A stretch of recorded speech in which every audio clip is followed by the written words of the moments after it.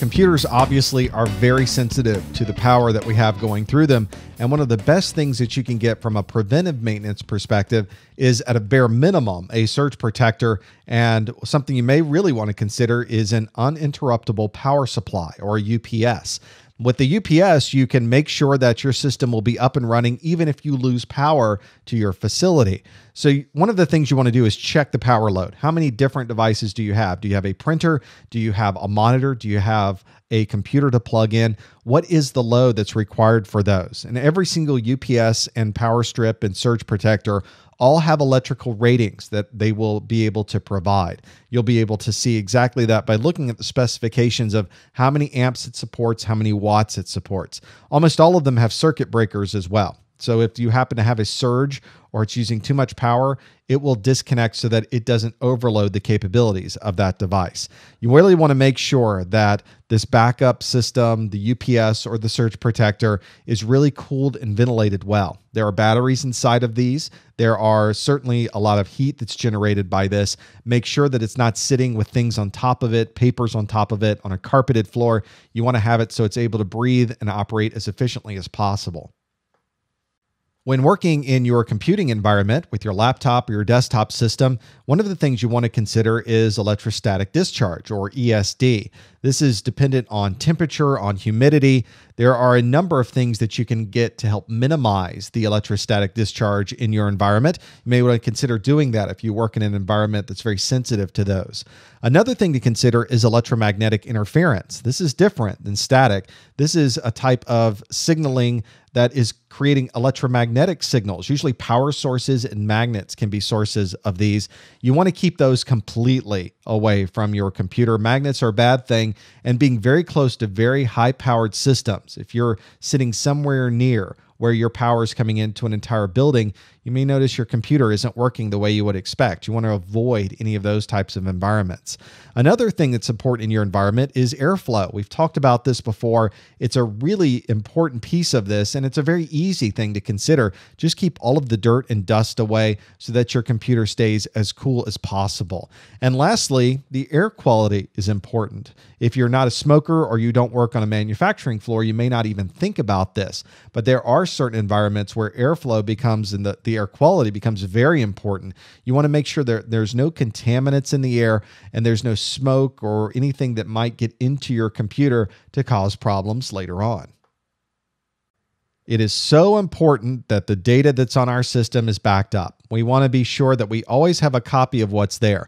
There's a lot of different ways to back up data. We can back up single files onto a separate media that we can then pull back later. We could back up an entire disk. Every file on the disk, everything that's on that disk, back it up somewhere else. A lot of people do also disk images, where they essentially take a photocopy of the disk. They take every bit and byte and they duplicate it into a file. And if they ever need to recover from that, they can replace the entire disk if they want to from from a basic system so they can recover everything. And usually you're doing almost all of these. You pull off some files to a certain place, maybe you take certain parts of the disk, and maybe you also have an image so that you've got different places where this data is backed up.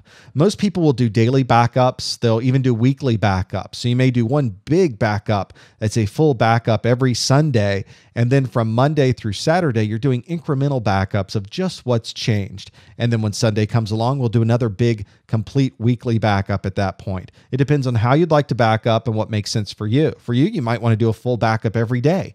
It just depends on how important your data is for you. Those full backups and incremental backups become important because if you do a full backup and then little incremental backups after that, if you ever need to go back and recover, you may have to go all the way back to the full and then apply the changes that were made to finally get back to where you were.